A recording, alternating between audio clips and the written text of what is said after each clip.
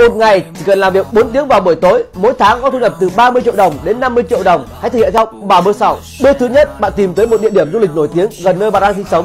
Chuẩn ví dụ ở Sài Gòn đó là tòa landmark 81 tầng, ở Nha Trang đó là chợ đêm Tháp Trầm Hương. Những người đi du lịch là những người có tiền và họ có tâm lý mong muốn chụp những tấm ảnh đẹp để làm kỷ niệm và đăng lên các mạng xã hội. Ở bước này bạn lưu ý chọn những địa điểm du lịch nào mà để chụp được những tấm ảnh đẹp thì cần phải có máy móc và cần phải có kỹ thuật. Bước thứ hai, bạn có thể mượn, thuê hoặc mua cho chuẩn một chiếc máy ảnh tốt, một chiếc máy in ảnh mini khoảng vài triệu đồng. Sau đó đến cái địa điểm du lịch đó chụp cho chuẩn những tấm ảnh thật là đẹp.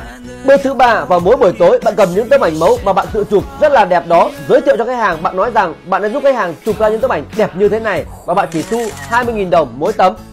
Mỗi một khách hàng trung bình họ sẽ chụp từ 5 đến 10 tấm.